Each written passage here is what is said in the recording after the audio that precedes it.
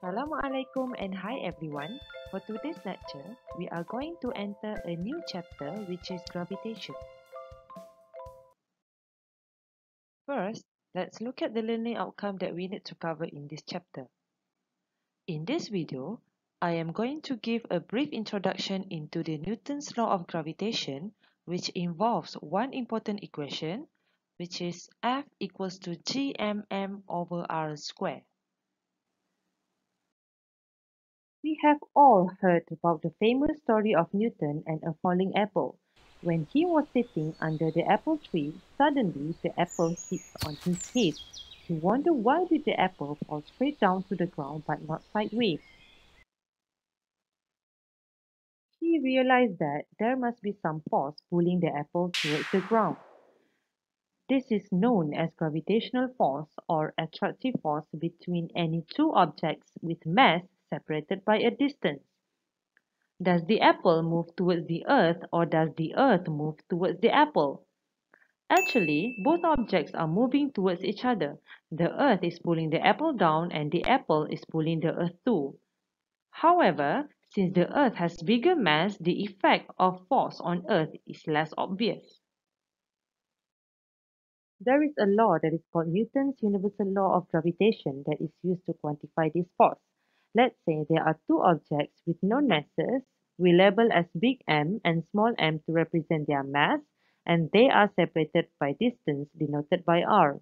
So this distance must be measured from the center of the first object to the center of second object. When taking or measuring this distance, especially between two spherical objects, if you are not considering the radius of that object, you will be taking the wrong value of r. So be careful with that. Newton's universal law of gravitation states that for every particle in the universe, it will attract every other particle around it. So both objects will exert an equal force to attract one another. So this force is directly proportional to the product of their masses and inversely proportional to the square of the distance between them.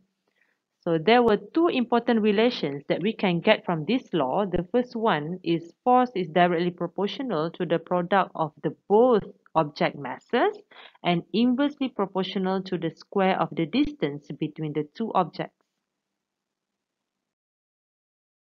With these two relations, we can now calculate the value of gravitational force by multiplying the product of the two masses with constant g and divide it by the square of the center-center distance.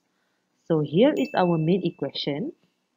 If we look at the force between the two objects here, these two forces should have the same magnitude but opposite in direction.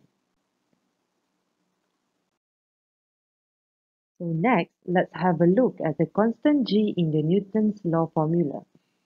g here is the constant of proportionality and it's known as universal gravitational constant it has a value approximately equal to 6.67 times 10 to the power of negative 11 and has quite a long unit which is Newton meter square per kg square.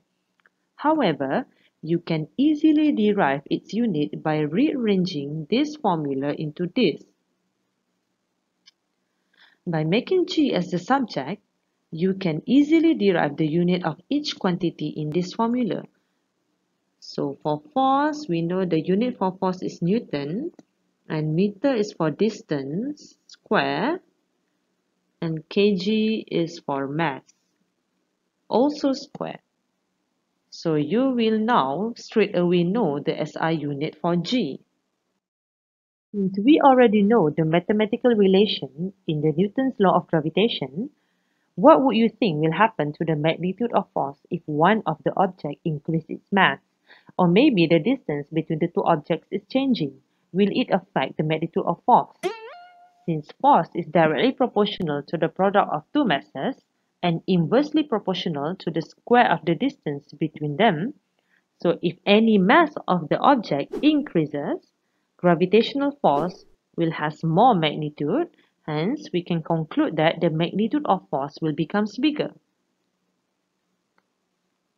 However, when the separation between the two objects gets bigger, the lesser will be the gravitational force. Therefore, we can conclude that the gravitational force will become smaller. These are the example of gravitational force between the Earth and Moon and also between the satellite and Earth. You must be thinking why the Moon and satellite are not attracted towards the Earth. Before we proceed any further, let us discuss this question that will explain why does Moon or satellite do not fall on the surface of the Earth. We all know that the gravitational force always pulling the satellite towards the Earth, but why the satellite never reach the surface of the Earth? As we can see here, the satellite will never reach the surface of the Earth because the satellite is moving sideways very quickly at a very high speed. Therefore, the attractive force that pulls the satellite towards the Earth helps to maintain the satellite moving in orbit around the Earth. We can simply say that the satellite does not fall straight down to the Earth, but it is falling around the Earth, meaning the satellite is orbiting the Earth. This is actually the example of projectile motion that we learned in previous chapter. Imagine that the red ball is the satellite. As you can see here, during the first two paths, path 1 and path 2, the satellite is falling towards the Earth.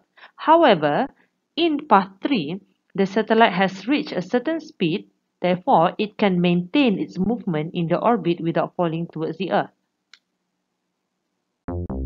So it's the end of the lesson. I hope you guys can at least get some idea on gravitational force. So that's all for now. See you in the next video and thanks for watching.